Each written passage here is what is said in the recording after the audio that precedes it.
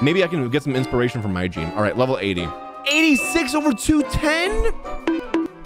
Jesus Christ. How? Holy How are you getting these ratios? Jade Cutter, two-piece VV, two-piece Shim. I gotta see this, dude. Crit damage, 29.5 crit damage, ER, EM, 33.4 crit damage with some crit rate on there. 20%, oh my god, dude. Oh my god. 888, bro. That Jean is cracked. My Jean sucks.